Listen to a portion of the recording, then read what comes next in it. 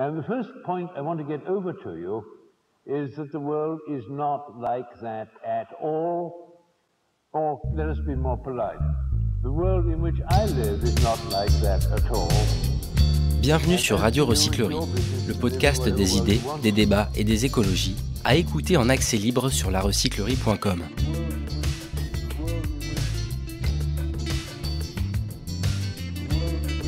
Gagner sa vie avec une micro-ferme maraîchère écologique, c'est bel et bien possible, nous dit Jean-Martin Fortier lors de cet échange avec Maxime de Rostolan.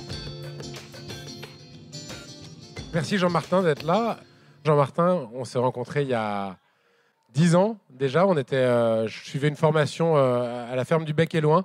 Je ne sais pas si tu te souviens, il était tombé 60 euh, ou 40 cm de neige en, peu de temps et on a pris la voiture ric-rac et ceux qui étaient partis une demi-heure après nous, ils, sont passés la, ils ont passé la nuit dans leur voiture bloquée en Normandie. Donc nous, du coup, nous, on a fait autre chose pendant cette nuit-là. On a pu faire connaissance. C'était cool. Et donc voilà, Jean-Martin, je ne vais pas vous le présenter euh, plus que de raison. Vous le savez, il a écrit Le jardinier maraîcher. Il a créé cette ferme de la Grelinette en 2004. Dans 2004. Et donc ferme qui a été un, terrain d'expérimentation qui lui a permis d'écrire ce livre, Le jardinier maraîcher, qui euh, t'a fait voyager un peu, traduit euh, en quelques langues quand même. Dix. En dix langues, sérieux? Putain, j'avais sept la dernière fois, donc ça continue. Donc Jean-Martin qui a euh, développé des méthodes maraîchères assez incroyables et qui nous inspire. Et moi, ce qui m'intéresse aujourd'hui, c'est de savoir où tu en es, parce que tu as commencé en 2004, on est en 2022, donc ça fait 18 ans que tu fais ça. Où en es-tu, Jean-Martin? Qui es-tu, Jean-Martin? Où vas-tu? Bon, salut tout le monde. Premièrement, je sais pas si c'est assez fort. Puis c'est ça, j'ai un accent. Il va falloir faire avec. Il n'y a, a, pas de traduction ce soir? Non? Ouais, Max, belle rencontre. 2012, je pense, au Bec et Loin. C'était la première fois que je venais en France présenter euh, mon travail, mon livre Le jardinier maraîcher. On est resté en contact, euh, Max et moi, depuis toutes ces années-là. On a un parcours qui est très différent au niveau de, des réalisations, mais je pense qu'on était motivés les deux par la même essence, qui était de changer le monde, qui est de changer le monde? Moi, je vais vouloir qu'on parle de ça. Je vais vouloir t'inclure dans la discussion, savoir, toi, Max, tu es rendu où aujourd'hui? Parce que des, militants comme nous, euh, quand tu commences puis tu as 25, quand moi, quand j'ai démarré ma ferme, j'avais 25, c'était clair pour moi que je cherchais à trouver non seulement une façon de générer un, emploi avec quelque chose qui changeait le monde pour le mieux, mais un mode de vie aussi qui faisait du sens avec mes valeurs écologiques, un mode de vie qui me permettait de travailler avec mes mains, qui permettait d'être à la campagne, de travailler avec les saisons, puis qui finalement aussi qui me permettait de travailler avec mon intelligence. Parce que faire le métier de maraîcher, c'est pas un travail manuel. Puis un peu, tous les trucs que nous, on a, on a un peu soit redécouverts, soit euh, inventés, entre guillemets, ou, ou popularisés, ben, ça a été vraiment le fruit d'expérimentation, mais c'était un mélange de, travail manuel, mais aussi de travailler avec notre esprit, puis d'essayer de faire fonctionner des choses, regarder avec une nouvelle perspective. Donc, tu sais, on commence avec un, besoin de faire du sens avec notre travail. Puis quand on réfléchit, on se dit 40, euh, 45 heures par semaine sont dédiées à travailler. Donc, est-ce que ces heures-là peuvent contribuer à faire un monde meilleur?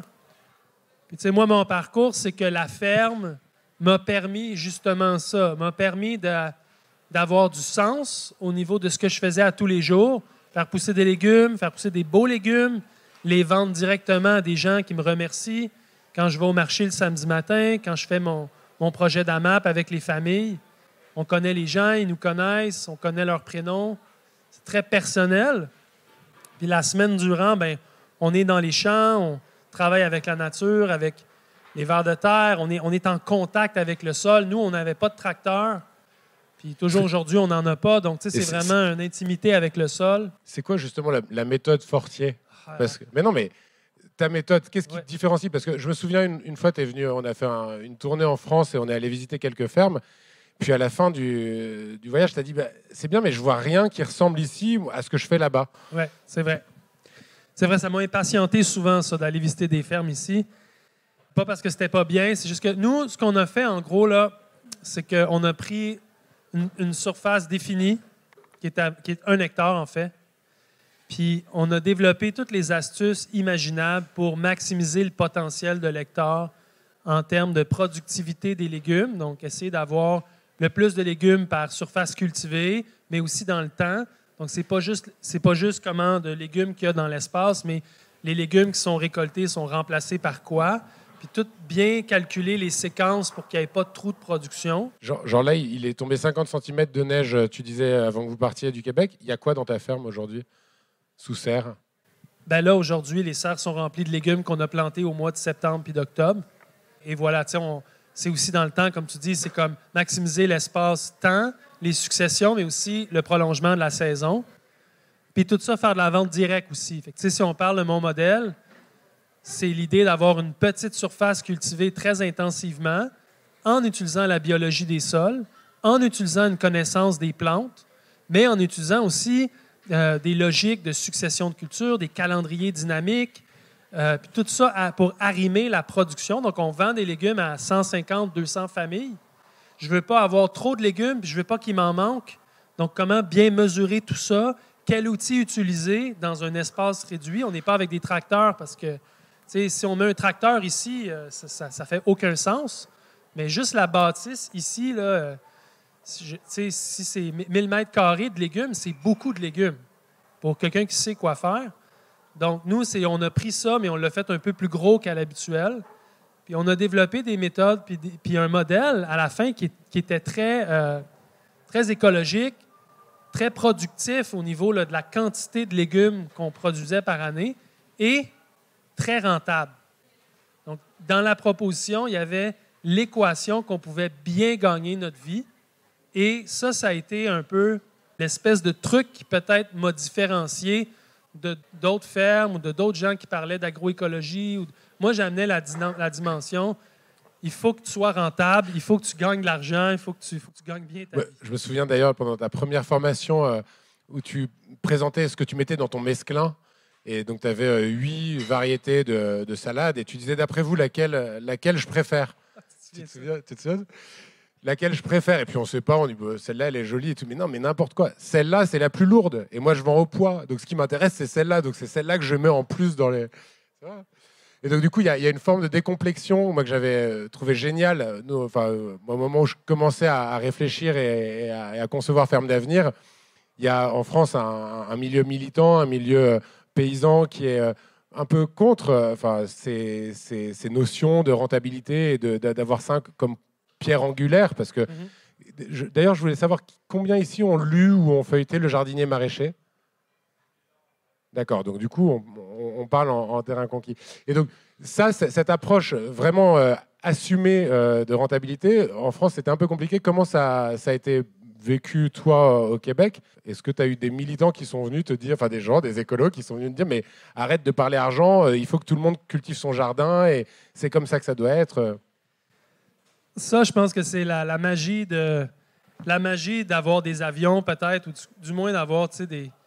que moi, je vienne ici en France parler comme ça. Si je vais aux États-Unis faire une conférence, il n'y a aucun complexe à parler de, ta rentabilité et de ton chiffre d'affaires de ferme. C'est la première chose que les gens vont te demander, c'est aux États-Unis, on, ils ne veulent pas savoir combien de livres tu as écrit, ils veulent savoir combien tu gagnes par année. C'est un peu la blague. Puis en France, c'est c'est pas important, mais combien de livres que tu as écrits, ça, par exemple, ça, donne la valeur à, ton métier. Donc, moi, j'arrive un peu avec quand même une perspective nord-américaine en termes d'avoir un business plan, puis d'avoir une vision d'affaires. Toi, quand tu écris un bouquin, tu le fais traduire en dix langues pour avoir un bon... Euh, ça, ça s'est fait au fur et à mesure, mais l'idée, c'est de dire, est-ce qu'on peut combiner les deux mondes? Parce que le volet écologique, le volet social, le volet lifestyle, d'avoir une belle vie, c'est vraiment au cœur du projet, mais la, rentabilité est un des moteurs importants de ça. Donc, moi, je n'ai jamais été complexé. c'est sûr que quand j'arrivais ici, puis tu te souviens, il y, avait toujours le vieux maraîcher dans le fond qui, qui renchignait. Puis, je, je, m'en prenais un peu, mais en même temps, je trouve que c'est important. Puis encore aujourd'hui, je trouve que ce, ce volet-là doit être, doit être discuté, doit être approché. Les jeunes et les moins jeunes qui démarrent des fermes, il faut qu'ils comprennent que ce n'est pas juste un projet social. c'est un projet économique aussi. tu sais. Et tu as fait des petits au Québec, il y a beaucoup de fermes qui ressemblent à la tienne. Est-ce que tu as réussi à essaimer Ben, la réponse, c'est oui, mais ça a, ça a largement débordé les frontières du Québec. Largement. Comme par exemple, moi, j'enseigne aujourd'hui un cours en ligne. Puis, euh, euh, cas, qui est ma partenaire dans ce projet-là, qui est ici, on est dans 90 pays à montrer aux gens à travers des vidéos, des tutoriels, comment travailler. Légumes par légumes. Légumes par légumes, toutes les méthodes, parce que c'est beau de dire oui, la, la micro-ferme est possible. Oui, euh, tu peux avoir une belle qualité de vie et faire une différence. Oui, oui, oui, mais comment tu t'y prends? Ça, c'est le nerf de la guerre. Mais pour répondre à ta question, dans ma communauté à moi, on a commencé, il y avait une ferme bio. Puis quand nous, on est arrivés à la grelinette, ils nous voyaient comme un compétiteur. Il y avait beaucoup de- d'aversion envers nous. Aujourd'hui, c'est un grand ami. Aujourd'hui, dans les 50 km, ce qui est beaucoup là, au Québec, là, 50 km, c'est c'est- deux villages, genre. Il y a presque 50 fermes bio. Beaucoup qui ont passé par chez nous. Puis on a complètement changé la dynamique de la communauté parce qu'aujourd'hui, on a des mercredis fermiers où les, les fermiers se rencontrent. Il y a des services maintenant, quasiment gouvernementaux, qui sont exclusivement pour les micro-fermes. Il y a eu tout, tout, toute l'arrimage s'est fait. Donc, tu sais, ça a vraiment, vraiment décollé. Tu as réussi à convaincre les politiques ou des, des acteurs locaux que les micro-fermes pourraient changer le monde et qu'il fallait qu'ils s'y mettent? OK, je réponds à ta question. La façon que ça s'est passé pour nous, c'est que nous, on a formé des gens qui, eux, sont allés cogner aux portes avec des, des, euh, des plans d'affaires qui Avec étaient solides. Puis là, nous, on faisait la démonstration que ça, ça fonctionnait, puis on avait un peu d'exposure. D'autres l'ont fait, d'autres l'ont fait, jusqu'à un point où il y a eu une bascule, où est-ce que c'était plus possible d'ignorer un peu ce phénomène-là. Puis là, vu que beaucoup de jeunes voulaient travailler dans ce sens-là, ils ont adapté les programmes. Ça s'est fait un peu comme ça. Est-ce qu'il y a des maîtres qui ont dépassé, enfin des étudiants qui ont dépassé le maître? Est-ce que tu vas dans des fermes, tu fais waouh Ben Est-ce oui. que tu es toujours le meilleur à la récolte d'épinards? Non, non, non. Non, je suis bon à la récolte d'épinards, ça, oui. Ça, tu me poses des grandes questions. C'est sûr que c'est douloureux de passer de maîtrise euh, totale à. Il y, a toute une, il y a toute une génération qui rapidement me rattrape. Puis En plus, tu es, plus tout jeune. Hein? Non, mais j'ai 44. Mais moi, je suis content de ça. J'en ai formé beaucoup à la ferme des quatre temps. On pourra en parler si tu veux. Puis quand on regarde leur parcours à eux, c'est vraiment spectaculaire. Puis moi, ça a toujours été ça. ma- ma- mon idée, c'était de dire si les gens sont bien équipés, s'ils sont bien formés et compétents, ils vont vraiment mieux réussir que s'ils sont juste bien intentionnés. L'intention en maraîchage, c'est pas suffisant. Il faut que tu ailles le coffre à outils, il faut que tu aies une perspective aussi de dire mon projet, je vais le traiter comme une business, je vais calculer mes coûts de production, je vais calculer mon modèle d'affaires, je le comprends. Puis tout ça, là, c'est quand même, on passe 50 heures semaine dans le champ, là. Mais il faut comprendre qu'est-ce qu'on fait. Et alors, du coup, aujourd'hui, tu fais quoi? Parce que euh, tu m'as dit que tu, étais, euh, tu venais de faire la passation là, sur la ferme des quatre temps. Tu peux expliquer peut-être la ferme des quatre temps. Donc, la ferme de la Grelinette, c'est le, le départ, c'est la ferme sur un hectare. Et après, tu as fait une ferme à plus grande échelle pour euh, montrer qu'on pouvait démultiplier. euh, et qu'est-ce qu'elle devient, cette ferme? Ben, dans mon parcours à moi, j'ai écrit le jardinier maraîcher. Après ça, je suis venu le présenter ici. Je suis allé le présenter dans plusieurs pays. J'ai- fait pratiquement presque cinq années de, conférences, de, taux- de, de formation pour non seulement dire aux gens que c'était possible, mais leur montrer les étapes, les outils, vraiment leur permettre de mieux comprendre. Ça, je faisais ça l'hiver. Parce que, tu sais, au Québec, c'est pas comme ici. Là. En ce moment, on- on a eu une grosse tempête de neige hier. Donc, tu sais, on avait quand même 4-5 mois où j'avais du temps pour me libérer à faire autre chose. Puis, je formais deux apprentis par année à la grelinette qui, eux, allaient démarrer leur ferme. Puis, il y a eu une opportunité qui m'a été offerte de dire on pourrait partir un autre projet où je pourrais former plus de gens. Puis là, j'étudiais beaucoup la permaculture à l'époque. C'était l'époque où la permaculture, c'était chaud. Je venais ici, on en parlait, on allait au bec, truc machin. J'avais aussi vu beaucoup de choses que je, voulais que le jardin maraîcher soit plus que juste un jardin maraîcher. J'étais intéressé par les animaux, j'étais intéressé par euh, les aménagements paysagers pour attirer la faune, la flore. Donc là, il y a eu une opportunité, il y a un richissime homme d'affaires qui voulait faire une ferme, puis qui avait trouvé que j'étais peut-être la personne la plus compétente pour le faire. Puis rapidement, j'ai pris le projet, je me le suis approprié, puis j'ai dessiné, puis j'ai inventé la ferme des quatre temps, qui, à chaque année, permis à 5-6 personnes de graduer après deux saisons avec moi. On a fait la série Les Fermiers, là, qui était un projet de télévision où les gens pouvaient voir ce qu'on faisait. Un truc de télé-réalité. Enfin, c'est un peu télé-réalité. euh, Ouais. On n'a pas eu ça encore, mais euh, ça a marché. Ça, Ouais, ça a marché fort. euh, Top Chef, nous sur la cuisine, ça- on voit l'engouement que ça provoque. Il faut remonter, il faut aller au, maraîcher. À l'époque où ça sortait, nous on voulait essayer de le monter, et ça on n'a pas réussi à le vendre. Ben, ce qui était cool avec, avec ça, c'est que là, il y avait la ferme des quatre temps qui était un peu spectaculaire. Après ça, il y avait les, les jeunes que moi je forme qui sont spectaculaires, comme, comme plusieurs, plusieurs gens qui sont intéressés par l'agroécologie sont souvent très inspirants. Là, on avait des caméras qui les filmaient. Puis un peu comme Top Chef, les maraîchers au Québec sont devenus un peu des, des rock stars. Pas juste moi, mais tous les autres qui étaient dans la série. Puis ça l'a fait avancer l'idée agricole beaucoup quand même. Tu sais, Puis ça s'est traduit par plus de citoyens qui voulaient manger euh, des paniers, des, des AMAP, qui voulaient manger bio, qui voulaient manger local. Ça s'est traduit aussi par des politiques ou des politiciens qui étaient un petit peu plus allumés parce qu'ils m'avaient vu à la télé. Puis on le présentait toujours dans une image positive. Si on parle de, de changement, j'ai toujours voulu que le changement que moi je proposais, c'était par l'exemple, par le positif, par qu'est-ce qui est possible, après ça, donner les outils.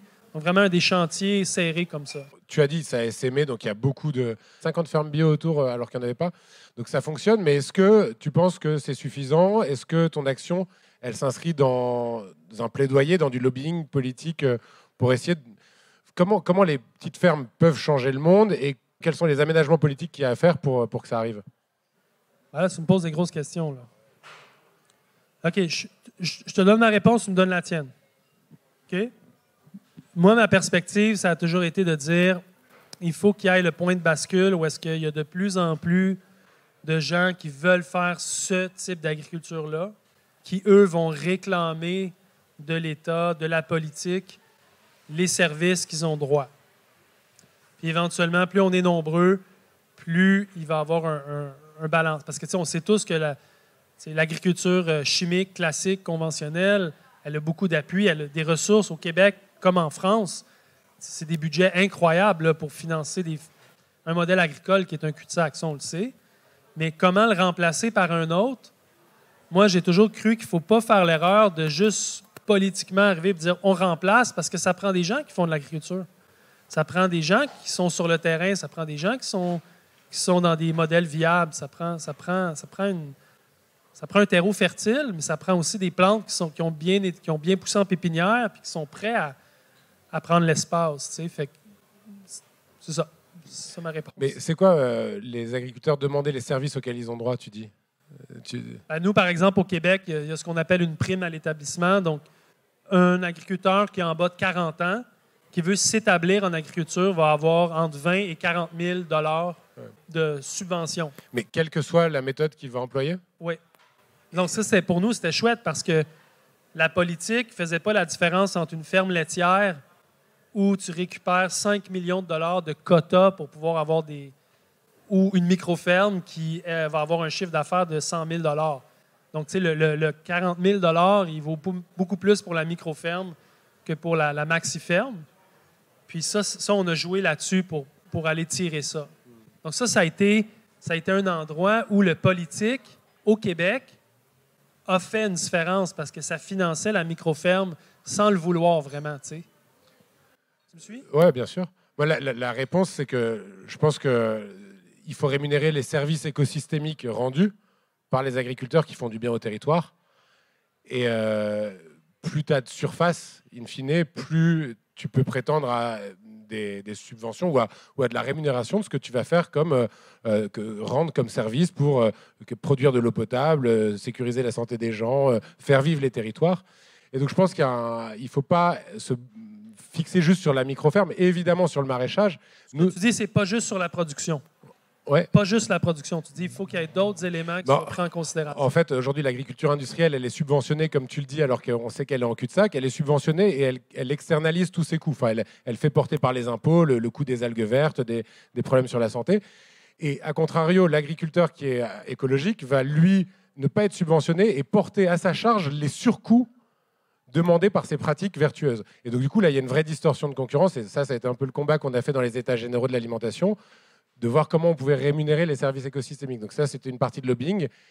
Et je me demande s'il y a une vraie question de taille euh, dans ce débat-là. Je pense qu'il y a sur le maraîchage et notamment les fruits et légumes. En France, on importe 4 milliards d'euros de fruits et légumes, dont une partie qui vient d'Espagne. Le jour où le pétrole vaudra euh, 200 dollars le baril, on ne pourra plus les faire venir, ce sera plus rentable. Et là, effectivement, sur cette partie de production, oui. Après, comment est-ce que, quels sont les liens avec justement la grande culture, l'élevage? Tu dis que tu es intéressé par les animaux. Dans la ferme des quatre temps, ça ressemble à quoi? Il y, a, il y a de la polyculture élevage? Ouais, la ferme des quatre temps était basée sur un modèle de polyculture. Donc, il y avait le jardin au milieu d'une d'une zone de rotation en pâturage intensif, c'est-à-dire que les vaches sont amenées à être déplacées régulièrement sur des nouvelles parcelles en herbe dans une rotation, puis après ça suivaient les poules. Pâturage dynamique, enfin, Ouais, je sais pas c'est quoi pâturage dynamique France, plus qu'intensif. ouais. Probablement, ouais, dynamique. Mais tu sais, l'idée, c'est Ça que... passerait mal en France, je Euh, pense. euh, euh, on nous on appelle ça la méthode bio-intensive. On a un petit décalage, mais les, les vaches, elles sont là, elles mangent l'herbe, mais elles sont déplacées régulièrement dans des espaces confinés. Donc, elles mangent toujours l'herbe jusqu'au bout. Puis après ça, suivent les, suivent les poules qui viennent. vous avez combien de vaches sur les 66 Euh, hectares? 80. 80 vaches, 1000 poules et un labo culinaire qui transforme les produits animaliers. Donc, quand on fait les découpes, souvent, il y a des parties de l'animal qui sont mal valorisées ou qui sont carrément non utilisées. Donc là, on a, un labo culinaire qui transforme ça, qui transforme les légumes qu'on n'avait pas réussi à vendre au marché, qui fait des conserves, qui fait d'autres produits, qui fait du prêt-à-manger transformé aussi à partir de la ferme. Donc, vraiment une ferme holistique, complète, intégrée. Mais rapidement, moi, j'ai réalisé que, en tout cas au Québec, tout le volet animalier, la, perspective d'avoir micro, tu sais, comme un micro-troupeau, ou, euh, c'est pas rentable. C'est impossible. Juste les coûts d'abattage, les coûts de transport, parce qu'il faut aller dans un abattage, euh, un abattoir qui est certifié. Donc, souvent, c'était 200, 300 kilomètres pour se rendre. Là, ça prend une remorque spécialisée. Là, les coûts, les coûts, les coûts pour finalement ramener la carcasse à un, un- un boucher qui, lui, est peut-être à un autre 400. qui- tu sais, Ça, ça faisait, ça tienne pas la Il n'y a route. pas d'abattoir mobile? Il Non n'y en avait pas. Il y en a maintenant? en- ça l'a ouvert. Justement, la série Les Fermiers, puis tout, tout le fait qu'on a exposé ces problèmes-là a fait avancer les choses, mais euh, c'est lent. Moi, je parle de mon, expérience d'entrepreneur un peu militant qui me prend euh, d'un côté euh, les gens euh, de droite qui disent que je suis trop, trop gaucho et de l'autre côté les gens plus radicaux que moi qui disent que, que je ne devrais pas parler à des entreprises. Vous, ça m'intéresse de le savoir ou en tout cas de, le faire dire ici parce que je connais un peu la réponse. Mais nous, on se fait quand même pas mal allumer. Toi, tu bosses avec un milliardaire financier voilà, et tu, ça n'a pas posé de problème à quiconque. Ben, c'est sûr qu'au début, moi, je partais de la micro-ferme avec euh, une certaine pureté. Mais moi, j'ai toujours été intéressé par changer les choses. Mon objectif, c'était pas de me présenter comme plus blanc que blanc, c'était de faire avancer les dossiers. Moi, j'ai toujours pensé que d'être associé à quelqu'un comme euh, la, famille des Marais avec qui je travaillais, si eux étaient, étaient euh, sérieusement intéressés à faire bouger les choses, moi, je voyais ça d'un bon oeil. C'est le pari que j'ai fait. Je pense que ça a fonctionné. Je suis très content d'avoir fait cette association-là. Mais oui, j'ai mangé, j'ai mangé plusieurs volets. On appelle ça des volets, nous, chez nous. Mais en même temps, je pense que c'est normal parce que si tu parles à n'importe qui qui s'est présenté en politique, qui, qui venait d'une d'une bonne place, qui voulait vraiment changer les choses, c'est sûr qu'il s'est fait euh, discréditer, c'est sûr qu'il s'est fait salir, c'est sûr que les gens ont. Ça vient un peu avec le métier. Fait que moi, j'ai appris aussi à pas trop porter mon attention à ça, puis juste dire, moi, j'ai mon idée, moi, je suis convaincu de ce que je veux faire avancer. Je le fais pas pour des mauvaises raisons, je le fais pas pour ma gloire personnelle. J'ai en tête un projet de société. Fait que si un riche milliardaire veut embarquer dans mon projet de société, pour moi, c'est un go. Et du coup, tu fais quoi là aujourd'hui, maintenant? Parce que, vas-y, tu, tu as laissé, euh, tu as fait une passation là de, de la ferme des quatre temps. C'est euh, un grand j'ai moment. fait- J'ai fait sept années à la ferme des quatre temps. Puis dans la dernière année, j'ai formé la personne qui a pris ma place comme formateur, qui, elle, va gérer la ferme. D'ailleurs, dans tous mes projets, sans exception, à la direction, c'est des femmes. À tout coup. Je ne sais pas si c'est un hasard ou c'est parce qu'il y a une énergie féminine qui veut que ces projets-là avancent, mais je te le dis juste comme ça. Et euh, moi, présentement, je sentais le besoin de peut-être revenir un peu plus vers chez moi. Euh, pour moi, la ferme des quatre temps, ça a été un gros, gros projet où est-ce que j'ai vraiment euh, mis tout mon focus, toute mon attention. Mais comme n'importe qui qui est vraiment ultra focusé sur une chose, souvent ça crée un déséquilibre sur d'autres choses. Ça peut être la vie familiale, ça peut être, ça peut être la santé, ça peut être plein de choses. Je sentais le besoin aussi de, de juste revenir un peu vers chez moi à, à la micro-ferme. Que Maud Hélène euh, Que. Maud Hélène, ma femme, a géré toutes ces années-là. Ce qui était une bonne chose finalement, parce que, tu sais, si elle était ici, elle dirait c'est parfait, là, tu sais, comme c'est elle la patron, puis la, ou la matron, je sais pas comment on dit, là, mais c'est parfait. Puis là, moi, je pouvais même pas revenir à la ferme. Fait que là, je crée un autre projet, proche de chez moi. Mais euh, aujourd'hui, je suis intéressé à réfléchir à comment former les gens qui sont des formateurs. Et, et en France, tu fais quoi justement? Bah, mais Non, mais En- OK, c'est vite. En France, euh, on a parti ce qu'on appelle l'Institut jardinier maraîcher France, où on veut enseigner les méthodes et les techniques qu'on a développées au plus de gens possible qui veulent apprendre comment nous, on travaille. Donc là, on est dans cet esprit-là. On, travaille beaucoup avec une ferme du Perche qu'on a réussi à monter, qui est un laboratoire où les choses se passent, où est-ce que c'est une vraie ferme maraîchère en opération qui utilise beaucoup mes techniques, mes méthodes où est-ce que les gens peuvent aller voir. Parce que, tu sais, les gens ont lu le jardinier maraîcher. Ah ouais, Jean-Martin, c'est chouette. Ouais, ouais, ouais, on fait comme toi, c'est pareil. Puis là, tu tu- vas là, puis euh, c'est pas du tout ça. Fait que, tu sais, à un moment donné, c'est pas que tout doit être pareil exactement, mais c'est comme, il y a une raison pourquoi c'est comme ça qu'on travaille, puis pas comme ça.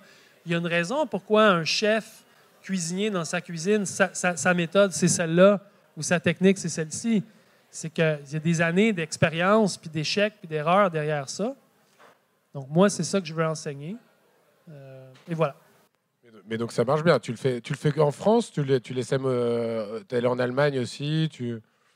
Beaucoup en France, puis euh, un- un- une histoire qui est très cool avec la France, c'est que, tout ce que moi je fais, ce que j'enseigne, ça vient d'ici. Comme quand on regarde les, les vieux livres de maraîchage, euh, le maraîchage au 19e siècle, au 18e siècle, jusque dans les années 80 même, il y avait des fermes qui cultivaient sur un hectare ici, en ceinture de Paris. Il y avait des fermes qui travaillaient exactement comme nous, on travaille.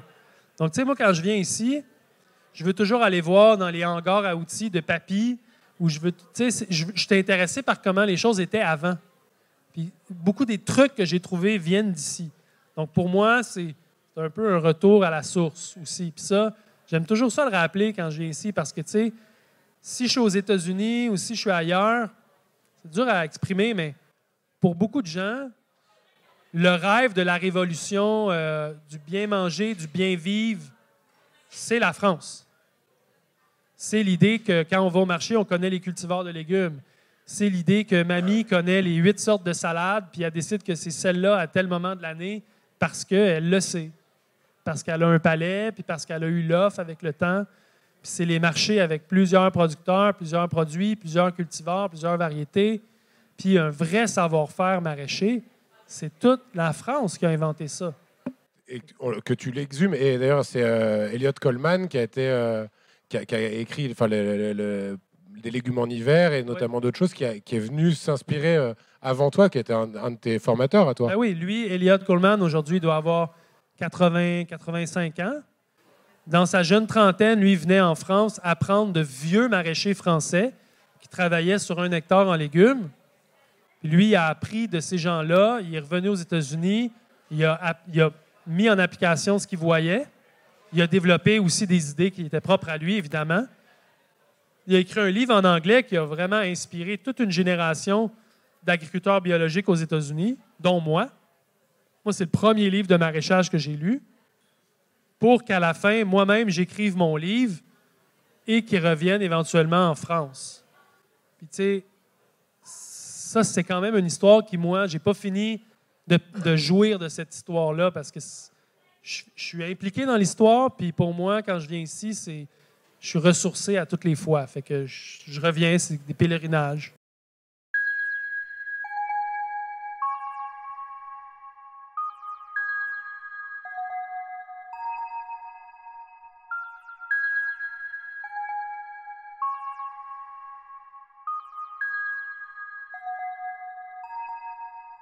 Comme toujours, les questions, elles arrivent un peu trop tard. On laisse pas assez de temps de questions. Est-ce qu'il y a quelqu'un qui a une question euh, brûlante euh, qui se dit il faut absolument que je pose une question à, à Jean-Martin? Là, j'ai... Oui, monsieur. Et il euh, y, y, a combien de personnes pour un hectare et nourrir 150-200 familles? Euh, Aujourd'hui, nous, on est cinq.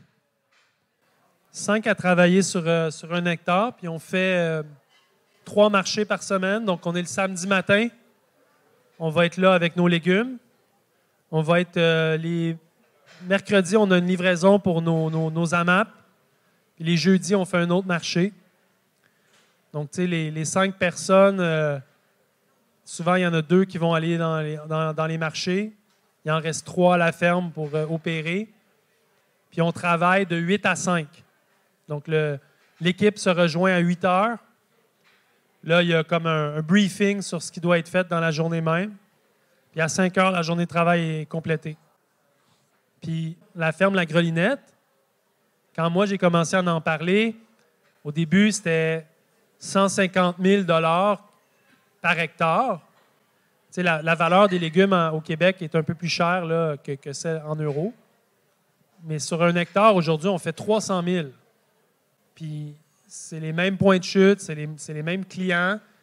Euh, on a développé juste plus d'offres puis les prix ont augmenté aussi avec le temps, mais on a juste appris à être plus efficace, plus productif. Donc, tu sais, la, contrainte d'espace qu'on a eue à la ferme, parce qu'on n'avait pas d'autres terrains qu'on pouvait exploiter, c'est vraiment ça le, la clé. C'est-à-dire, il y a une contrainte qui nous force à optimiser. Puis ça, pour moi, c'est une des clés du succès dans n'importe quoi. La même chose quand on parle de faire des journées de 8 à 5. Si tu n'arrêtes pas ta journée de travail à, à 17 heures, à 5 heures, puis tu peux continuer, continuer, continuer. Ça ne te force jamais à juste aboutir. C'est un peu comme les examens à l'école. C'est comme. C'est demain l'examen. Fait que, euh, allez, la, le soir d'avant, tu étudies. C'est comme ça que tu as appris à, à, récolter les épinards. Euh... Oui, comme un champion. C'est bien. Est-ce qu'il y a quelqu'un qui a une question? Bonjour. Merci, bonjour. Bonjour. Euh, tu parlais à l'instant de, de l'inspiration des maraîchers euh, du 19e en France et euh, que c'était, ça venait beaucoup de là, mais il y a beaucoup de, des, des grosses différences quand même, il me semble, par rapport à aujourd'hui, notamment dans ben, l'usage d'une main-d'œuvre qui était quand même beaucoup plus importante et, et moins chère.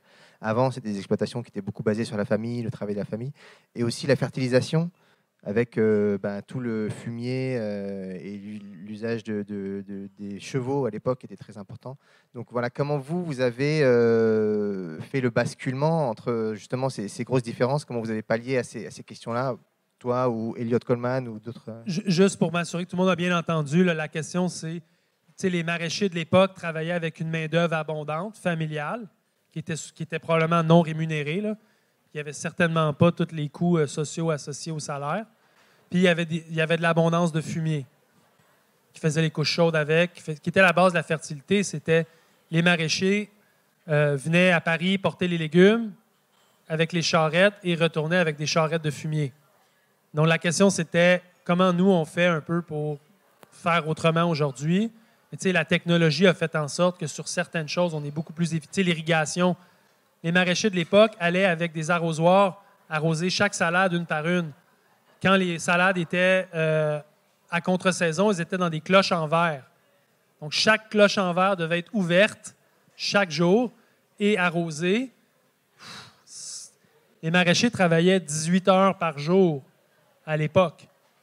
Nous, aujourd'hui, on a des pellicules plastiques, on a des films euh, qui, nous, qui nous permettent de se protéger des insectes, qui nous permettent de prolonger les saisons. Donc, on, on a des outils technologiques même. Il y, y, a tellement de vous, trucs. Vous en, vous en, avez développé, vous aussi euh? Oui, on a, on a développé. C'est quoi le, le, meilleur truc que, as, que vous ayez euh, développé? Ben, c'est beaucoup la planification culturelle.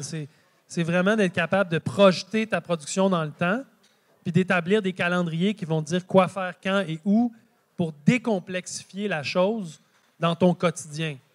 Donc, tu sais. Ça te fait ta feuille de route. Ta feuille de route que tu suis, que, te, que, que tu vas modifier euh, l'année suivante. Mais pour répondre à ta question, les maraîchers de l'époque travaillaient deux fois plus fort, mais ils avaient quand même trois ou quatre fois plus de production par mètre carré.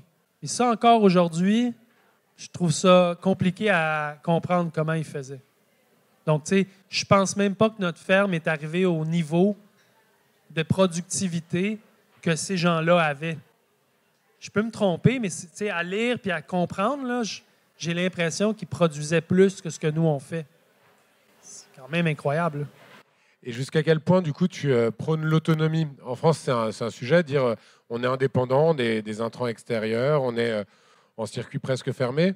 Toi, tu fais venir des choses sur ta ferme, de, de la, de la, des, de la, enfin, voilà, des amendements?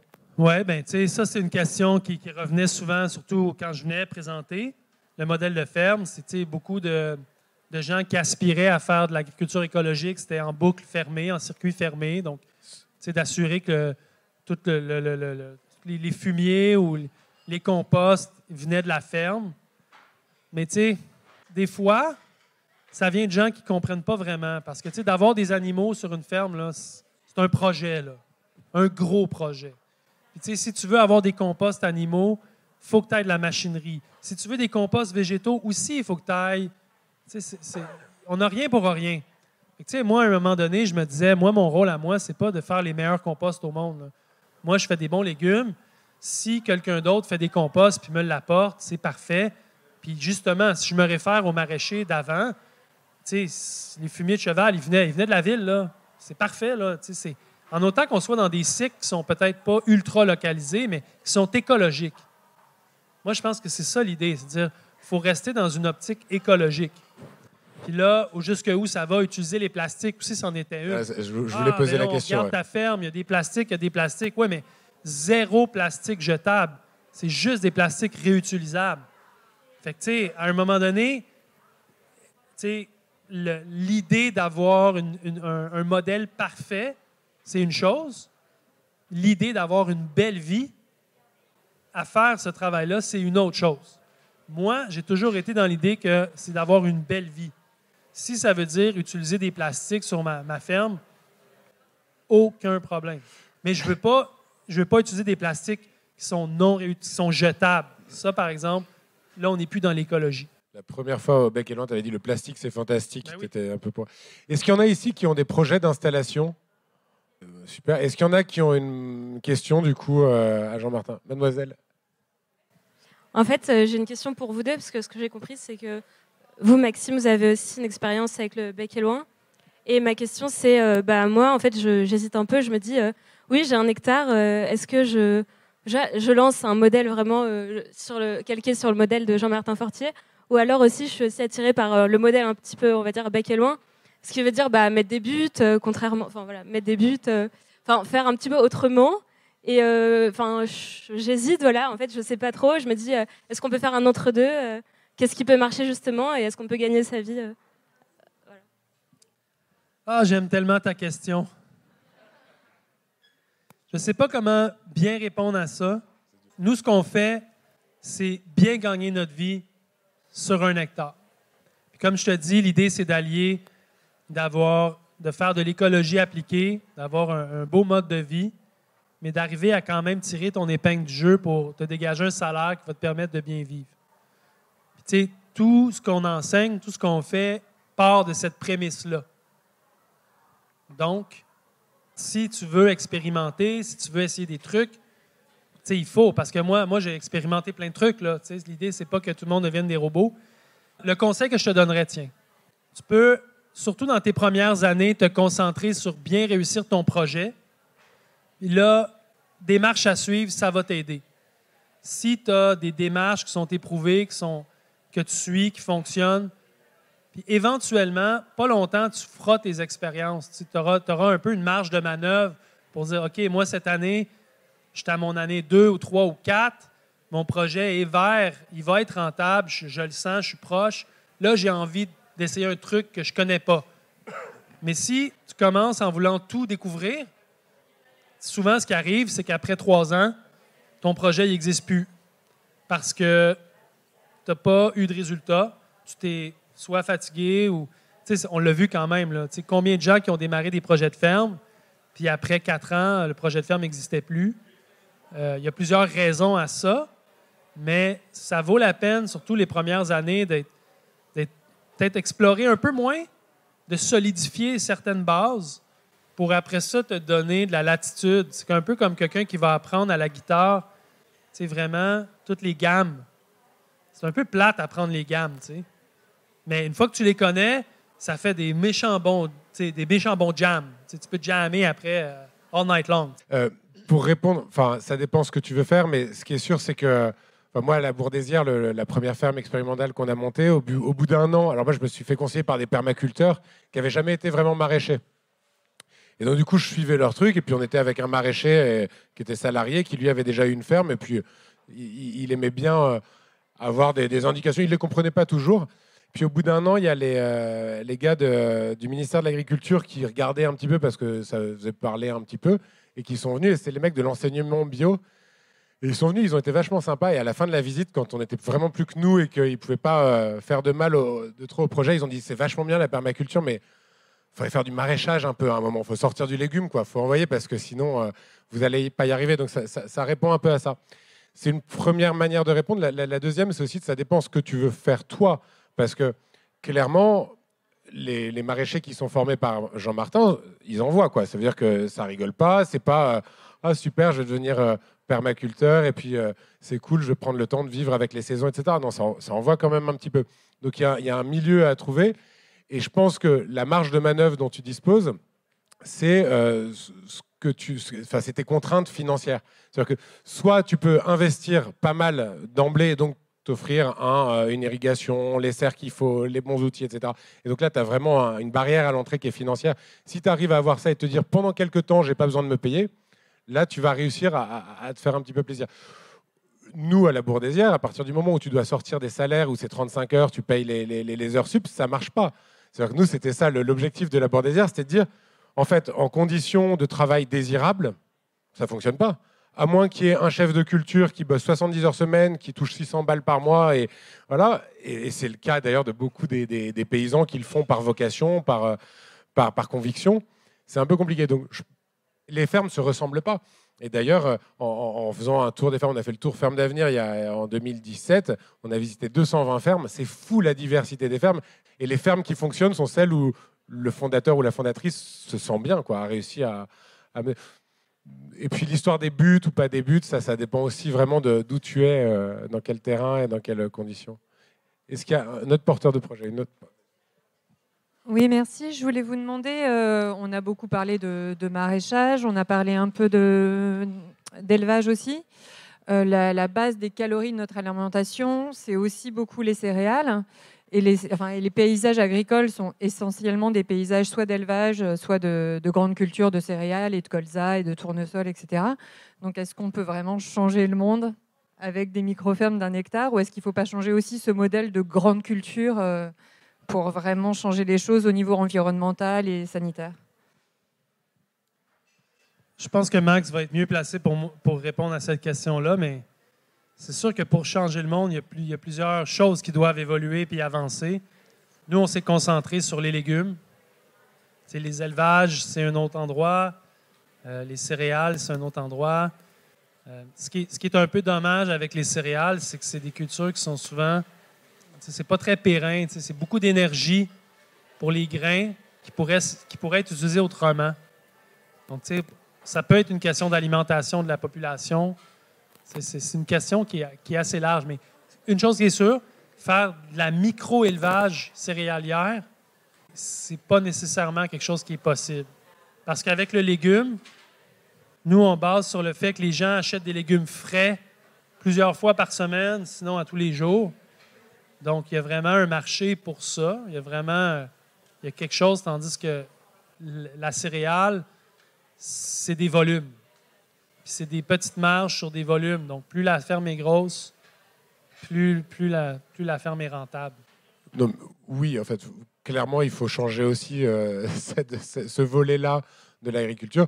Euh, nous, on a essayé dans les états généraux de l'alimentation de prôner le modèle euh, polyculture-élevage au niveau de la ferme, à l'échelle de la ferme, et on s'est fait bâcher. Ça a duré pas mal d'heures de négociations avec les lobbyistes, notamment du, syndicat majoritaire, qui disaient bah, non, bah regardez, euh, nous, la polyculture élevage, c'est bien notre modèle. En France, on fait euh, de, la céréale en, en, Beauce, on fait de l'élevage en, Bretagne. Regardez, c'est polyculture élevage. Donc, et, oui, il faut faire ça. Je ne sais pas comment est-ce qu'on adresse cette question-là. Je pense qu'il va falloir euh, saisir la fenêtre qu'on a parce qu'il y a beaucoup d'agriculteurs qui vont partir à la retraite là dans les 5-10 ans.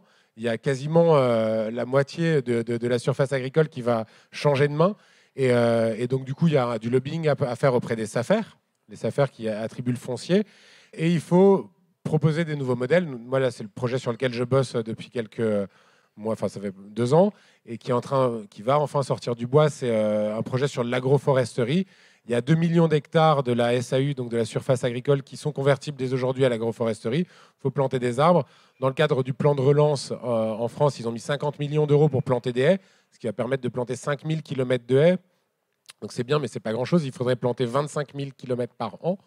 Et là, rien qu'avec ces 5 000 supplémentaires par rapport au rythme qu'on avait jusqu'à présent, désolé, c'est plein de chiffres. En gros, on, on, devrait planter 25 000 par an, on en plante 2005, et le plan de relance va permettre en one shot de planter 5 000. Et même ça, on n'a pas les arbres, il va falloir les acheter en Allemagne et en Hollande. Donc moi, l'angle d'attaque que je prends depuis deux ans et qu'on a enfin euh, le hockey du gouvernement, c'est dire qu'il faut faire des pépinières locales, pépinières participatives, pour justement aller pouvoir travailler avec ces agriculteurs-là qui, sont, qui, se, qui, se sentent en vrai désamour de la population. Hein. Il y a clairement un clivage fort entre les bobos parisiens, euh, etc., et les agriculteurs qui, aiment, enfin, qui disent bah, c'est moi qui nourris le monde. Donc il y, a, un gros enjeu à essayer de trouver des totems de réconciliation, et je pense que l'arbre en est un, et donc c'est un des projets qu'on essaye de mener. Et il y a euh, une autre porte d'entrée pour changer les grandes cultures, c'est l'agriculture de conservation des sols, donc l'ACS, qui est donc sans labour. Et aujourd'hui, le, le, discours de ceux qui font de l'ACS, c'est de dire nous, on, fait tout bien, on laboure pas, donc on défonce pas la biodiversité, on a juste besoin d'un litre de, de, glypho à l'hectare. Et ils disent c'est le, c'est le pilier de notre modèle, c'est le glyphosate. Et en fait, je pense enfin, on sait qu'il y a d'autres moyens de se passer du glyphosate, notamment sans labourer, d'allonger les rotations donc d'intercaler des nouvelles cultures comme le lin, le chanvre, ce qui permettrait de trouver euh, des filières textiles locales. Et euh, voilà. Donc il y, a beaucoup de pistes là-dessus. Je ne sais pas laquelle sera la bonne. Il faut toutes les essayer. Mais ce qui est sûr, c'est qu'il y a une fenêtre là dans les dans les dix ans qui viennent pour essayer de, de, proposer quelque chose de nouveau. Oui. Bonjour. Donc on voit qu'une ferme d'un hectare, elle nourrit 200 familles, donc un village, euh, déjà un, un, beau village. Donc ça veut dire qu'il y a la place que pour un maraîcher par village. Qu'est-ce qui se passe s'il se met à y en avoir 5, 10, 15 Ça, c'est une bonne question. Ça, c'est l'heureux problème. Nous, dans notre cas, ça a été euh, vraiment. Ben, c'est sûr que le village, il y a Montréal qui est une ville proche, donc le village est presque infini, mais c'est toujours l'idée de grossir la tarte.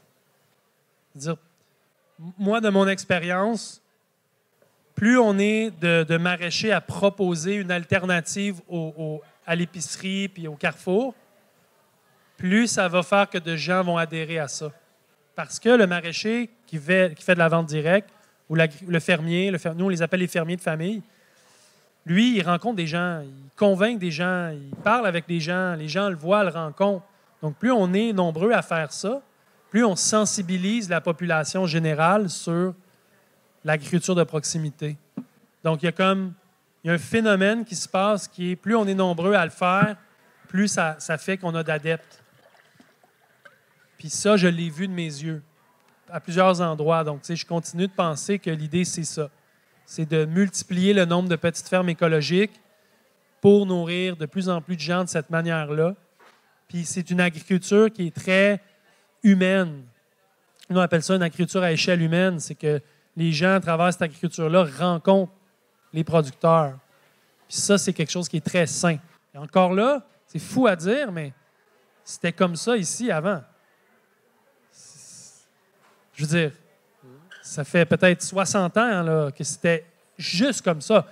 Quand je lis les vieux livres de maraîchage, la ville de Paris avait 3 millions de personnes nourries par des micro-fermes. Parce qu'il n'y avait pas de pétrole à l'époque, parce que euh, ça n'existait pas l'exportation. C'est quand même fou là, de penser ça. Donc, ça fait pas 2000 euh, ans. Là. Alors que là, on, tient deux jours en salade, là, sinon. Qui est-ce qui... Bon. Euh, si je lis entre les lignes de tout ce que vous avez dit, vous avez pris votre hectare à un chiffre d'affaires de 100 000 euros et vous avez fini à 300 000 à travers la diversification. À travers votre expérience euh, sur cette diversification, justement, quels seraient vos conseils pour de jeunes maraîchers qui vont se lancer? C'est bien. Bien, toute la courbe d'apprentissage, plus tu peux l'aplatir, plus tu vas réussir rapidement. Donc, si tu as la chance de suivre les méthodes de quelqu'un qui te montre comment bien faire chaque chose, go. Parce que le défi à faire ce qu'on fait, c'est que c'est 40 légumes différents, c'est beaucoup de complexité à gérer, c'est beaucoup d'étapes qui, avant, à l'époque, les gens apprenaient probablement de leur famille, il y avait une tradition maraîchère où les gens apprenaient les meilleures pratiques parce qu'ils étaient dans le milieu.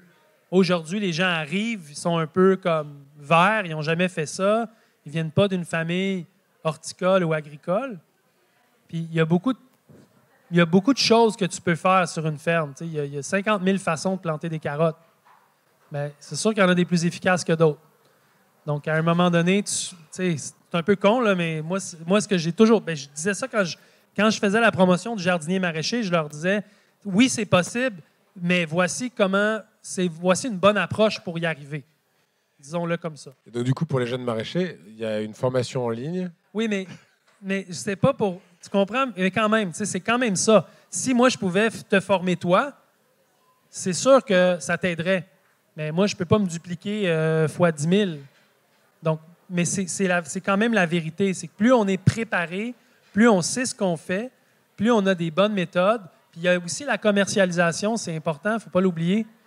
D'être capable aussi de vendre ses légumes, d'être capable d'être à la bonne place pour les vendre, les légumes, c'est aussi important parce que la micro-ferme, sans vente directe, ça ne fonctionne pas. Là. tu ne peux pas faire une micro-ferme en pensant que tes légumes vont aller chez le distributeur.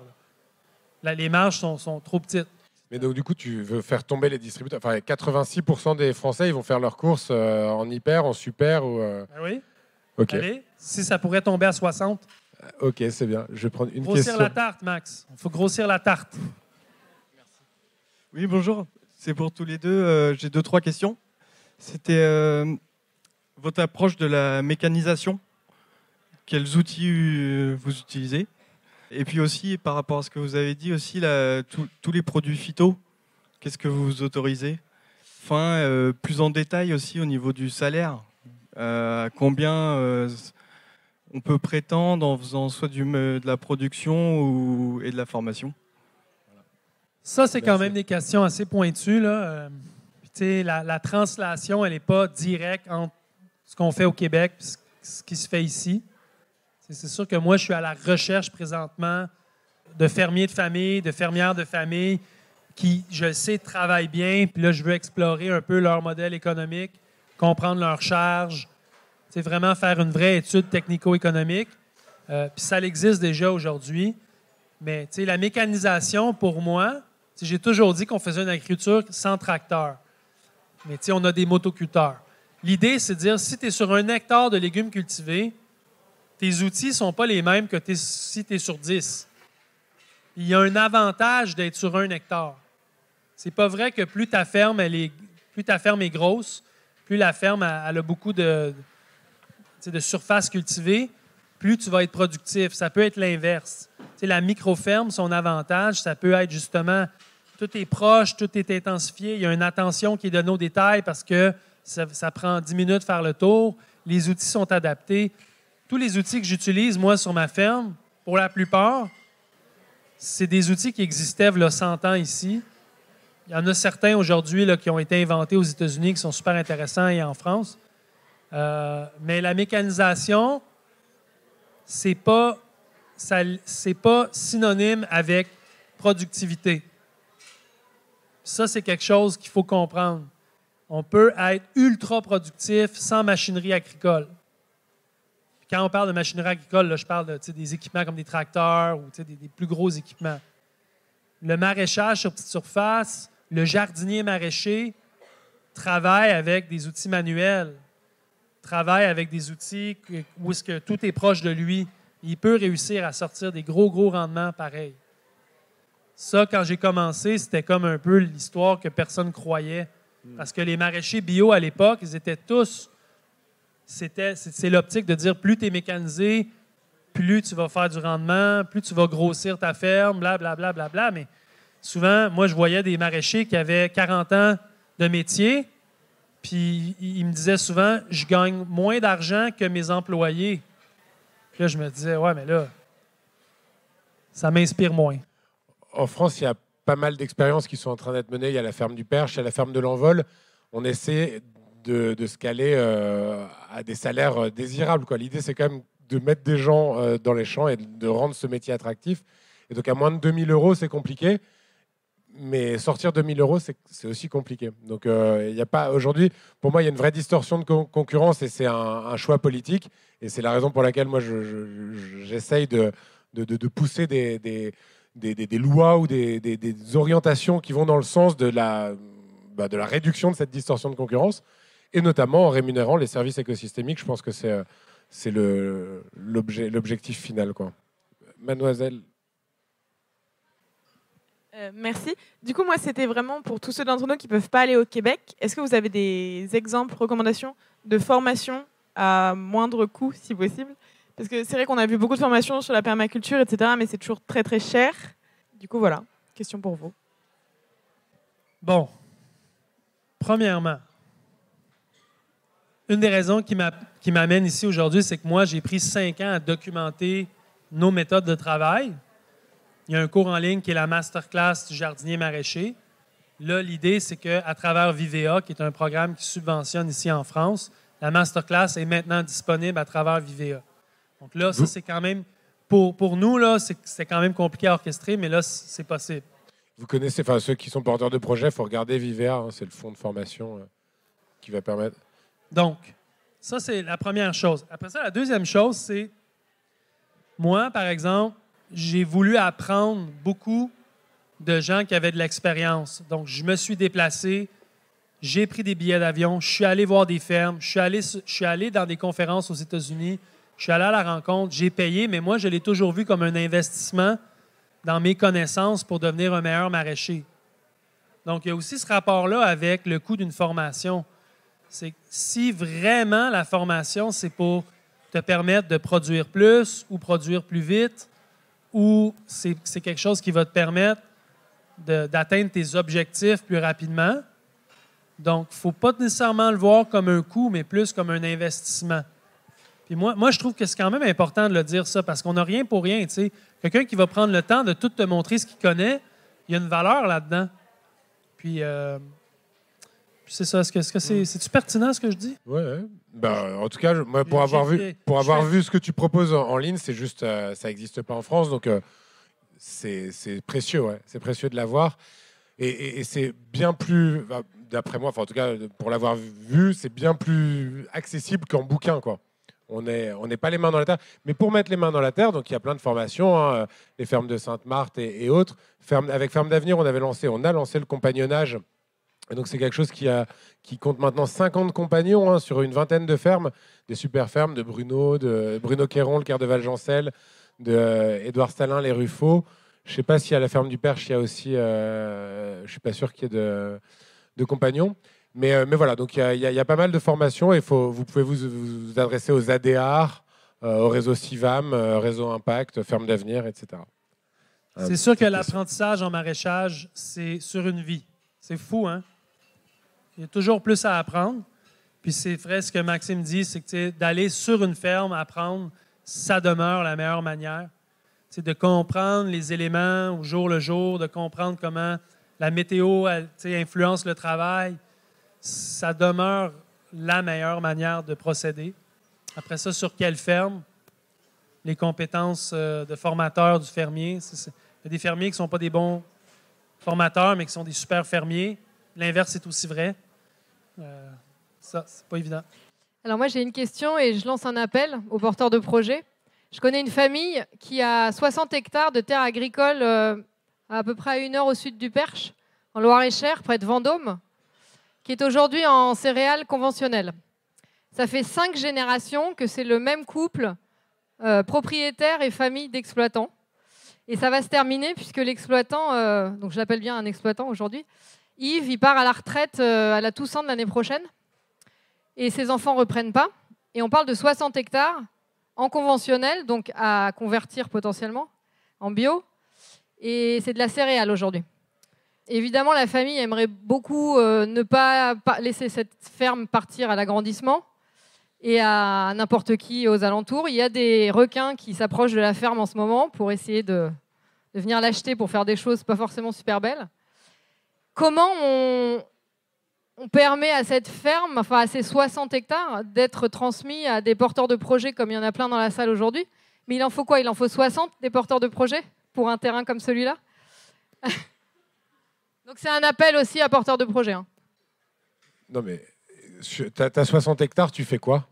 La ferme des quatre temps? Ben, ça dépend. Tu sais, oui, c'est- peut-être. 60 hectares, c'est quand même un, beau, un beau volume. Là.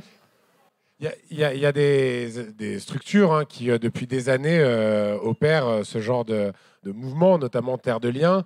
Là, il y a, la ski, y a une ski qui, est- qui s'est montée qui s'appelle Ceinture Verte, qui fait des trucs assez intéressants, assez disruptifs. C'est moche comme mot, mais voilà. Mais ce qui est sûr, c'est que le, le sujet qui était vraiment central il y a dix ans, qui était ah mais comment est-ce qu'on fait pour avoir de la terre? Déjà, quand on prend l'approche micro ferme, c'est plus euh, c'est plus vraiment un sujet. Et en plus, avec ce qui est en train de se passer là, ça veut dire le, le- le renouvellement d'une génération de paysans, c'est de moins en moins vrai. Et là, les SAFER sont de plus en plus euh, sensibles à, à ce genre de projet. La question, c'est de savoir est-ce qu'il y a des porteurs de projets. Parmi les porteurs de projets ici, combien n'ont pas de foncier? Ben voilà, donc il y a une table qui s'organise ici tout à l'heure, et donc vous allez 60 hectares. En plus, euh, vers Vendôme, c'est super, c'est à 45 minutes en TGV de Paris, ça, marche bien. Euh, Monsieur, un porteur de projet ou un, fan de growers.co. Oui, euh, le bio a baissé de 11% en 2021. Donc il y a une vraie crise du bio en France et les prix ont aussi chuté de 5%. Et je voulais savoir si de l'autre côté de l'Atlantique, au Québec, vous aviez aussi cette crise du bio.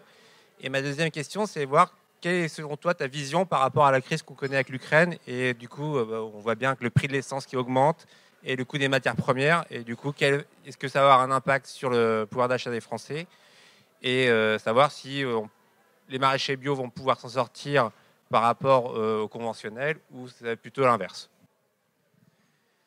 Moi, j'aime beaucoup ta question parce que, tu sais, nous, sur notre ferme, on a 300 000 de chiffre d'affaires. Puis, si on regarde les coûts liés au pétrole sur la ferme, on est à quelques mille dollars. Donc, tu sais, les frais de déplacement pour aller livrer les légumes à Montréal avec le camion, le motoculteur, c'est 200-300 dollars par année maximum. Après ça, nous, on, chauffe nos serres avec du propane. Ça, c'est quand même un, un gros montant. Mais l'agriculture que nous, on fait, elle utilise finalement très peu de carburant fossile, elle utilise très peu de matériel qui vient de, la mondialisation des marchés. Donc, je pense que ce qui va arriver avec... Je pense que des militants comme Maxime et moi, qui depuis 20 ans, on imagine ça, mais là, la, crise pétrolière, la, pandémie, toute la chaîne euh, mondialisée de tous les matériaux qui font le tour de la planète, je pense qu'elle est, elle est vraiment brisée en ce moment. Je ne suis pas certain qu'elle va être. Donc, ça va créer des opportunités pour l'agriculture localisée, mais plein d'autres corps de métier aussi. Ça, moi, je trouve ça vraiment cool, honnêtement. Je pense que c'est comme un retour en arrière. Puis, euh, c'est bien, tu sais.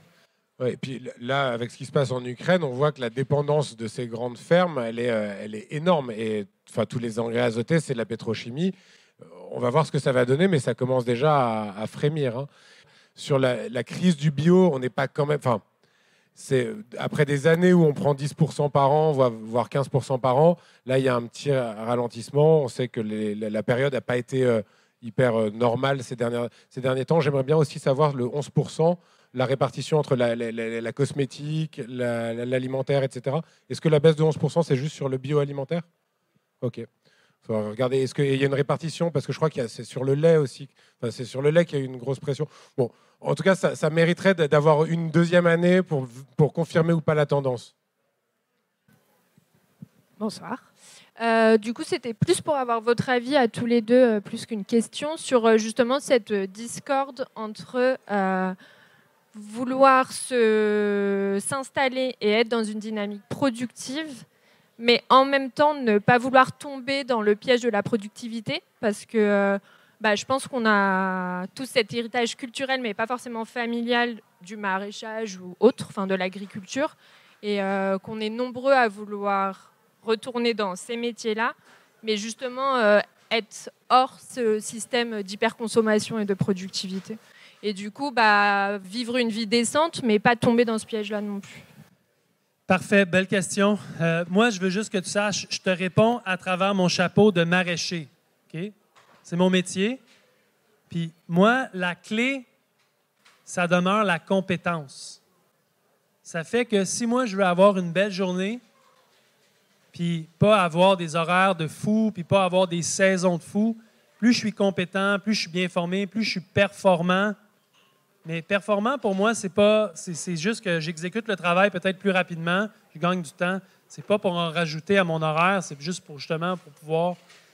Puis, je, le métier qu'on fait, d'apprendre les petits détails de comment faire chaque chose fait une différence. C'est des minutes sauvées ici, c'est des minutes sauvées là. C'est rempli de détails faire du maraîchage.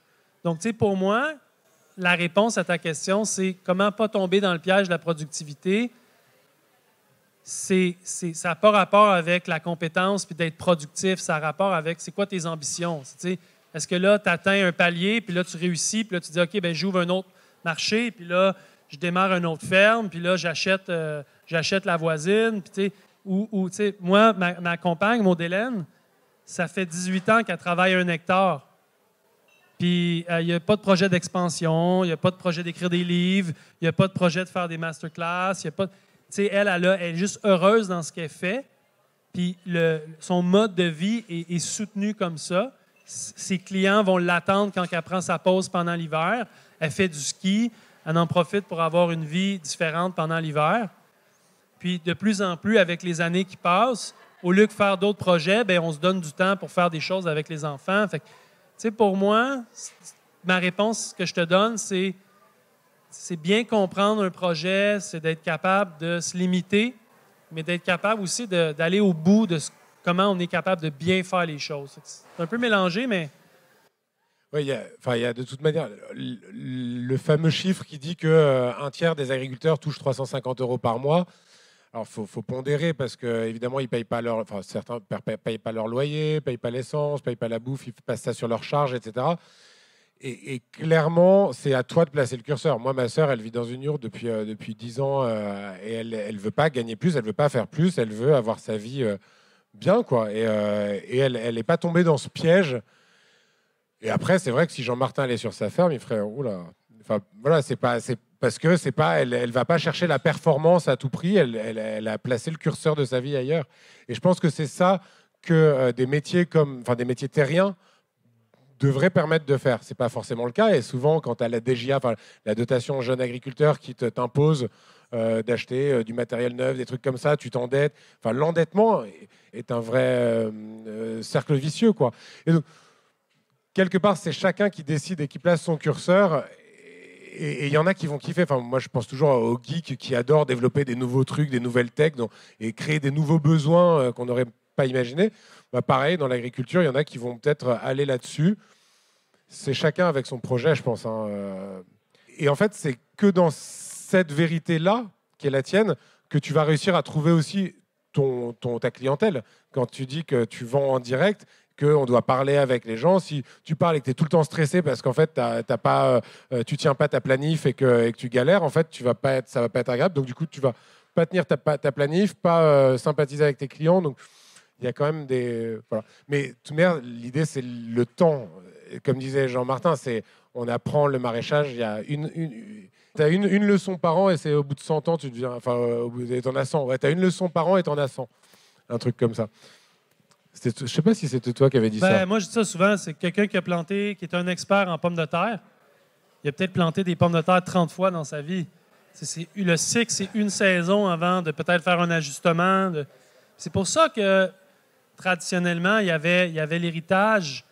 L'héritage des jardiniers maraîchers là, et, et- et du métier de maraîchage, c'était la transmission du savoir-faire. C'est ça l'héritage. C'était l'appréciation que les gens avaient du bien manger, de comprendre les terroirs, puis de comprendre qu'est-ce qui était quoi et pour quelles raisons. C'était tout imbriqué dans la vie des gens, ça. Y a un moment donné, il y a eu une, il y a une cassure, il y a une chaîne qui s'est brisée, puis on a arrêté d'enseigner le maraîchage parce qu'on a industrialisé l'agriculture. Puis là, c'est devenu euh, des monocultures, des fermes qui étaient de plus en plus euh, conceptualisées pour que ce soit des opérateurs de machinerie.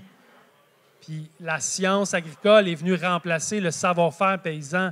Là, aujourd'hui, ça fait déjà 40 années, 50 années qu'il y a un retour à, à- prendre ça, mais le volet technique, le volet savoir-faire est vraiment, vraiment important. Ça, je pense qu'il ne faut pas négliger de le dire. C'est comme, on veut faire un métier qui est beau, on veut faire un métier qui est noble, on veut faire une différence, mais il faut se former, il faut apprendre aussi à bien travailler. C'est très important. Puis euh, c'est un investissement. Vous avez le, le parcours com- ah, ah, du compagnonnage euh, là-bas? Vous as, suivi un petit peu comment ça fonctionne le compagnonnage euh, Ben, tu sais, c'est- différent d'une place à l'autre. Nous, les gens. C'est pas le woofing, hein, c'est plus. ça- C'est ça, les gens ils viennent deux ans sur une ferme souvent, puis ça, ça va les propulser à démarrer. C'est comme ça qu'aux États-Unis aussi, ça s'est passé. tu sais. Le bio, qui a eu une résurgence du bio, c'est parce qu'il y avait des fermes, parce que ces fermes-là ont formé des gens, parce que ces fermiers-là étaient à vendre leurs légumes ou à vendre leurs produits fermiers. Donc, tu sais, c'est une mouvance populaire. Mais à la base, le travail d'un agriculteur, c'est un travail qui n'est pas juste celui d'une passion ou, pas juste celui d'un. d'un- c'est un, c'est un travail, c'est une compétence. Ça, je pense qu'il faut le dire. Puis, il faut que la compétence soit basée dans une compréhension de l'écologie, de la nature. Ça, c'est très important aussi. Puis ça, c'est beaucoup une redécouverte des savoirs d'autrefois, à mon, à, à mon avis. Et moi, j'ai- j'aimerais savoir, euh, du coup, au Québec, quels sont les sujets euh, d'actualité sur l'écologie? Sur quoi? En France, là, on est en campagne présidentielle. Et, euh, on a des, des, des- gens qui sont vent debout contre les éoliennes, d'autres qui disent que tout, tout se, résu- se résume au nucléaire. En ce moment, c'est un peu plus compliqué. Il y en a qui, euh, qui disent c'est la rénovation thermique. Vous, l'agriculture, est-ce que toi, en tant que militant agroécologiste, tu as des liens avec euh, des gens qui sont plus sur l'énergie, etc. Est-ce que politiquement, vous, comment vous vous organisez? Est-ce qu'il y a quelque chose? Enfin, Tout à l'heure, tu me disais euh, que ce que tu avais réussi à- à poser comme jalon auprès de politiques, qui parfois te contactaient même spontanément, que ces jalons-là ont abouti à des avancées. Est-ce que vous vous coordonnez comme, enfin, comme on fait? Parce que moi, j'ai écrit On a 20 ans pour changer le monde en 2018, donc il reste plus que 16 ans, enfin, selon mon, truc. Et euh, comment on fait quoi? Parce qu'en 16 ans, euh, ça se rapproche. quoi. on s'associe avec des gens qui ont, qui ont peut-être plus de compétences sur ces questions-là. Tu sais, moi, des fois, je suis optimiste, des fois, je ne le suis plus. Euh, J'essaie de garder le cap avec mon action. Je- J'ai envie d'influencer d'autres gens pour qu'eux réussissent. Je crois beaucoup à ça. Euh, je n'ai pas la réponse à ces questions-là. Je trouve que l'écologie, ça doit, ça doit être une valeur qu'on partage. Euh, après ça, comment ça se traduit en des actions politiques? Et une petite question, parce que tous les paysans, on, on la pose. Et alors, tes enfants, ils vont reprendre la ferme? Ben non. Euh, présentement, sais, ils ont 18 puis 14, donc euh, les dés sont pas joués. Et tu sais, moi, mon garçon s'intéresse au Bitcoin puis à la finance. Je le savais. hein. Ma fille, elle, c'est une artiste. Peut-être qu'un jour, Mais en même temps, moi, je viens pas d'un milieu agricole, tu sais, fait que je trouve que c'est juste, c'est juste cool. tu sais. Nous, on a trouvé notre voie là-dedans. Puis on, on a eu, on a- notre vie, elle est belle, elle est remplie. On a une communauté, on a redonné, on, participe à la communauté. C'était une des raisons pourquoi je voulais revenir chez moi, c'est qu'on a créé une communauté vraiment riche, agricole, mais agricole, mais plus que ça, parce que ça devient, ça devient les endroits où on est, comment on, comment on danse ensemble, sais, toute notre chaîne de référence, toute notre façon d'être puis de vivre qui n'est pas juste de l'agricole, qui est plein de gens beaux qu'on met ensemble. Puis moi, cette richesse-là, aujourd'hui, j'étais comme, je veux, je veux en profiter. tu sais, Je veux juste être heureux d'être chez moi dans ma communauté. Je crois beaucoup au pouvoir de la communauté. Tu sais, J'ai de la misère à pouvoir changer le monde, mais dans ma communauté, je peux, je peux être quelqu'un pour quelqu'un d'autre. Je peux être inspiré, je peux aider, je peux me faire aider. Ça, ça, ça, ça me parle beaucoup, moi.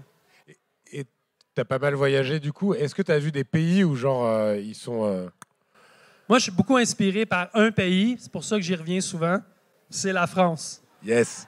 Puis c'est fou, hein? je, je tiens quand même à vous le dire parce que, tu sais, Max me connaît depuis longtemps. Tu m'avais invité à faire le Fat Tour. Puis, tu sais, après ça, on a fait une tournée. Tu m'as fait rencontrer plein de gens extraordinaires. Comme ici, j'arrive ici, moi, j'ai jamais vu ça, là. Pour moi, c'est... Vous avez vu le potager, hein, enfin, vous connaissez forcément. Puis il y en a beaucoup des initiatives comme ça en France. Puis moi, quand je viens ici, ça me ressource, je retourne chez moi, puis j'ai envie de faire comme j'ai vu ici. tu sais. Trop bien. Allez, on va prendre deux dernières questions, je pense. Bah, moi, je, vou- je voudrais juste dire à Jean-Martin que sa communauté, c'est un peu dans le monde entier. Que nous, par exemple, avec euh, la petite équipe qui est là, on, est en train de créer quelque chose qui s'appelle Farms. Et en fait, l'idée, c'est de savoir comment on, fait plein de micro-fermes qui travaillent. Et, et du coup, on a pris un foncier qui est un peu plus grand, puisqu'il fait 10 hectares. Et on va faire plusieurs micro-fermes avec euh, Gauthier aussi, qui est un disciple de Jean-Martin. Ouais. Euh, on va faire plusieurs micro-fermes euh, euh, en bio-intensif. Et comme après, il fallait trouver le débouché, ben, en fait, on a créé des boutiques et on va démarrer et on va vendre en direct, un peu comme les maraîchers autrefois, finalement, à Paris. Et donc, pour tous ceux qui sont là, on cherche les porteurs de projets de nos, de, de nos micro-fermes. C'est dans les Alpes, dans le sud de la France, à- près de Tarascon, qui est un peu le grenier de la France sur le maraîchage. Quoi. Voilà. Et Très après, on, on vend et on va vendre dans nos boutiques parce qu'on a besoin d'avoir nos débouchés qui ne peuvent pas être que locaux parce que bah, 10 hectares, ça fait plus que le village de Tarascon. quoi. Voilà. Ça s'appelle Farms et on cherche nos porteurs de projets. Donc, euh, bah, vous êtes les bienvenus. C'est du bio-intensif et c'est la méthode, euh, entre autres, de, de Jean-Martin. Voilà. Et c'est la communauté de Jean-Martin, du coup. Une autre question. Merci. Euh, justement, bah, sur la communauté, c'est un, un vrai sujet. Et euh, c'est pas plus une question qu'un commentaire. Aujourd'hui, euh, je pense que la solidarité entre nous, elle est, euh, elle est plus qu'importante. Il y a la ferme des Clos, justement, qui est aussi ferme, qui est haute ferme d'avenir. C'est à Bonnel, dans les Yvelines. Deux apiculteurs, deux maraîchers, deux arboriculteurs, un houblonnier. N'hésitez pas à aller les voir. Ils font un travail formidable. Vous y allez le matin, vous déjeunez avec eux le midi, vous restez euh, toute la journée avec eux, vous allez apprendre plein de trucs. Et je pense qu'il y a plein de fermes autour de Paris comme ça qui ont besoin de, euh, de petites mains, de grandes mains, de grands cœurs. Et euh, les élections approchent, mais notre pouvoir, il est dans l'action. Et, justement, rémunérer les, les systèmes, enfin, la rémunération des services écosystémiques, etc. Il y a aussi des moyens tout à fait légaux de détourner l'impôt et de montrer à nos élus comment est-ce que les Français veulent investir leur argent. Vous avez des structures, des SKIC, des associations, etc., qui peuvent vous permettre de détourner l'impôt tout à fait légalement. Donc, in- in- informez-vous là-dessus, parce qu'aujourd'hui, on est certes peut-être agriculteur, mais on est entrepreneur et on est aussi euh, forgeron de l'avenir de notre, de notre société. Quoi. Donc il y a un atelier détournement de l'impôt. Ça va être bien ça. Bah, mer- mer- merci beaucoup. Jean-Martin, est-ce que tu as un, un dernier mot euh, Tu viens d'arriver, tu es encore jet lag. Ouais, ouais, moi, je jusqu'à tout à l'heure, je bouillais du sirop d'érable dans ma cabane à sucre. Donc, euh, oui, je suis un peu fatigué, mais je voulais juste vous remercier d'être venu. Encore une fois, ça me fait vraiment. Merci, Max, euh, pour l'invitation. Merci de m'avoir fait découvrir le lieu. Merci la il recyclerie. Il y avait deux belles jeunes dames, tantôt j'ai oublié leur nom, là, qui m'ont fait, qui m'ont montré le jardin. Vraiment très cool. Puis euh, bravo à l'initiative ici. Merci d'être venu ce soir, très cool. Yes, bravo les filles, très cool. Puis ouais, bon succès à tout le monde. Tu sais, je pense que si j'ai un mot à dire là, honnêtement, c'est, je crois que même si on n'a pas les solutions, puis même si on ne voit pas qu'on peut tout changer, juste de faire sa part, juste d'avoir une contribution, juste d'être dans l'action positive, juste de sentir que nous, on fait une différence. C'est ça l'important. Si tout le monde se sent bien là-dedans, dans l'action positive, on multiplie les gestes, on est plusieurs aujourd'hui. On, va bâtir sur ça, puis on va, on va espérer le meilleur, on va espérer que la planète explose pas. C'est ça. Merci beaucoup, Jean-Martin.